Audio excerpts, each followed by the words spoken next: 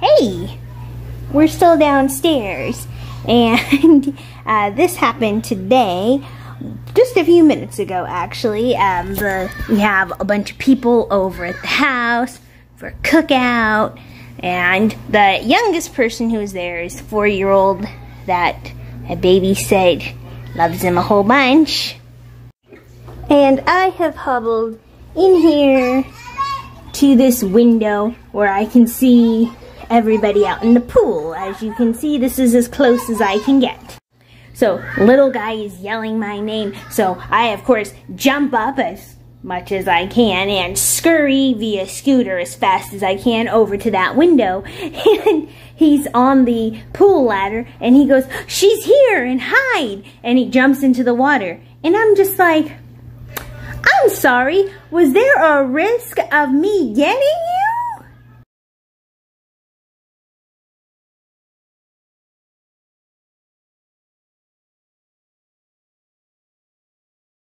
Hello, guess who got transferred back to her bedroom because there's floor repair getting done downstairs and I was in the way. Nobody actually said that, but I know the truth. On a completely different note, some of us are not as adept at sports and sports knowledge at others, which leads us into today's story time. I used to work for a recreation center and where they had like open gym, laser tag, roller skates, concession stand, and a bunch of rentals. And that was my main gig. But once upon a time, we had a firefighter basketball league come in, and for reasons I do not understand, I was going to be one of the pseudo in charge people during their game. I said this was a bad idea because I didn't know anything about basketball, never watched it, never played it. The only thing I know is the ball is orange. And pro tip, if someone ever tells you they don't know anything, take that to heart and don't use any fancy terms and go step by step with whatever you're trying to tell them. They don't know. It would have saved us a lot of problems. So I was put in charge of what they called the shot clock. I had no idea at the time what this was, but it's this little 30 second timer, and I was in charge of resetting it when it needed to be reset, which according to them was every time the ball changed hands. That was the terminology they used. And I tried my best. I was diligent. I was watching that ball like it was my child, and I was hitting that reset as fast as I could. This upset everybody. They asked me what was up with the shot clock. I said I was trying my best, etc., etc. They said I was changing it too often. I didn't understand. It was then explained to me at last that changing hands doesn't literally mean from person to person like a different set of hands. Changing hands means different team. I didn't know! And for some reason, they were all befuddled and shocked that I didn't know that despite clearly expressing this from the beginning. I only had to do that once. Hi. So I'm going to talk about something. This isn't as one of my normal funny story times. This is kind of an epiphany sort of moment. Um, I we am planning on talking about some emotional things, so that might be triggering to some people. So here is your chance uh, to scroll if you're not in a safe enough space to deal with that. Hopefully I turned the fan down, that helps a little bit. But for those of you who don't know, I recently had surgery. I have on cast. Uh, my stitches come out next Tuesday. Today is Tuesday when I filmed this. And uh, despite having some pain pills, my foot hurts. I can feel the healing and it hurts.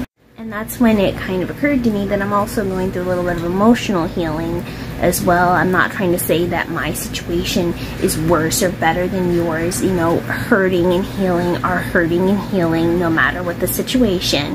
And seek help if you're in a very bad situation. Get help. It's okay to need help.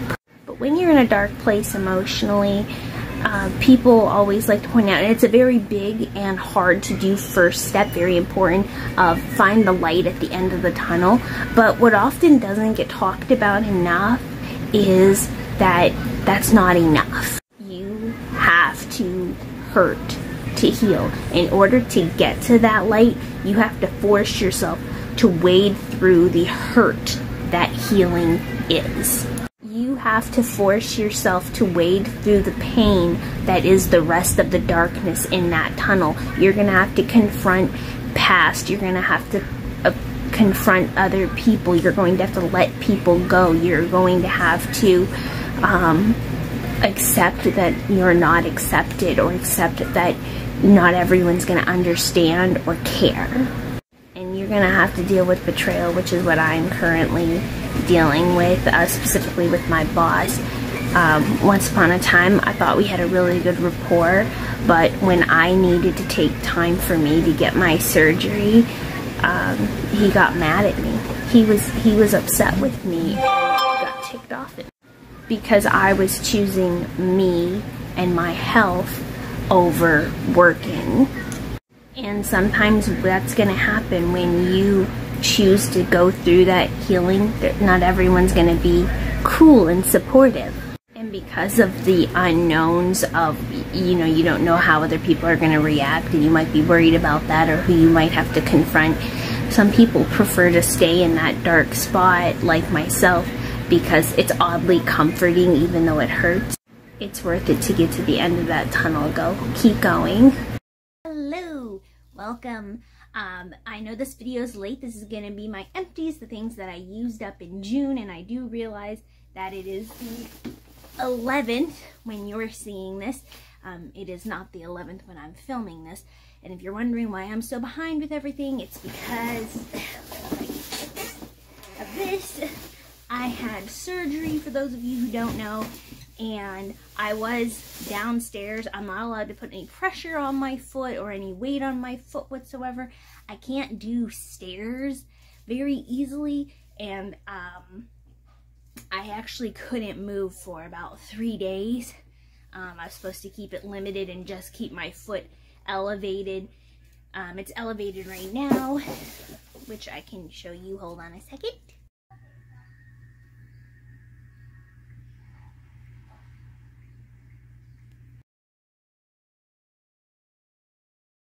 Boring AF because um, actually things have been si simultaneously boring and chaotic at the same time because like I said we have the floors redone so we had to move all the furniture out I had to get moved upstairs.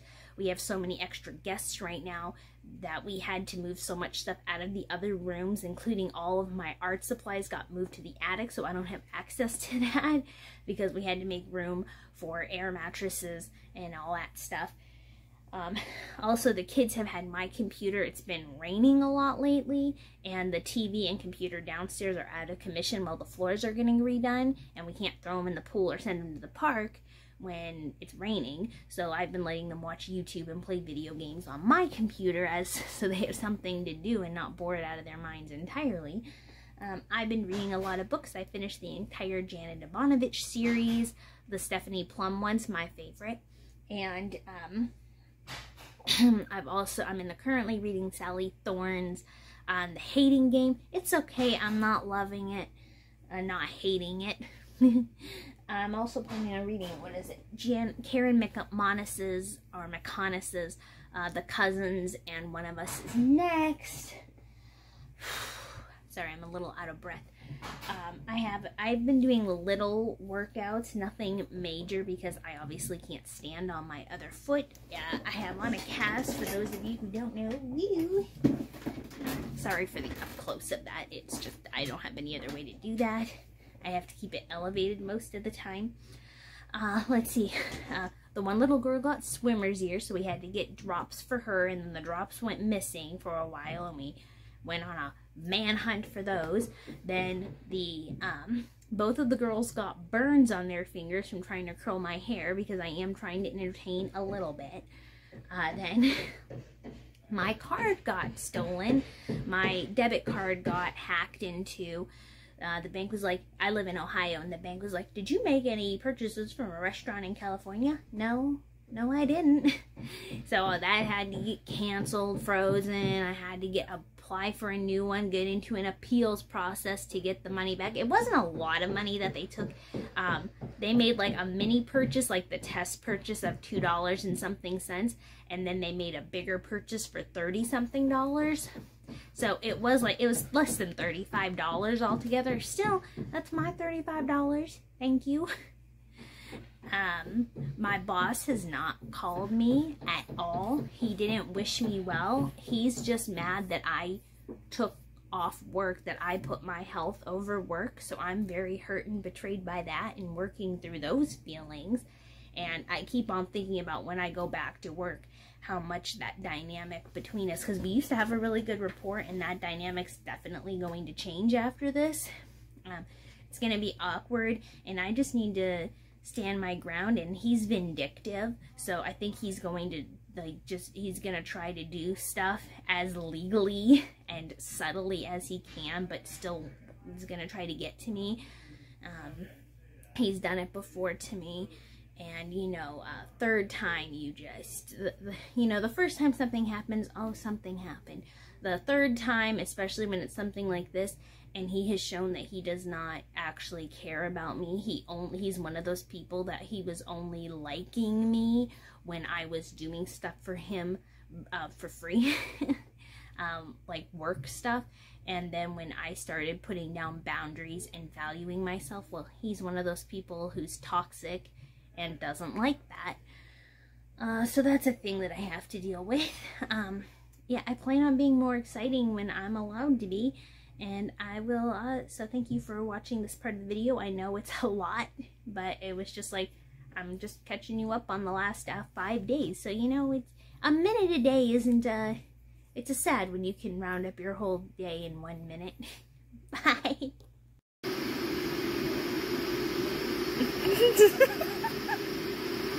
I don't need television, I have this.